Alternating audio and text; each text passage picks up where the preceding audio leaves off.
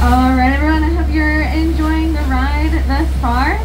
Pretty good sea conditions today. Um, it has allowed us to find a little bit of wildlife, and it may not be that obvious to you because it's not visible right now, uh, but we did have a humpback whale just go on a sounding dive in front of us. So, sounding dive means that that whale could be down for a few minutes at depth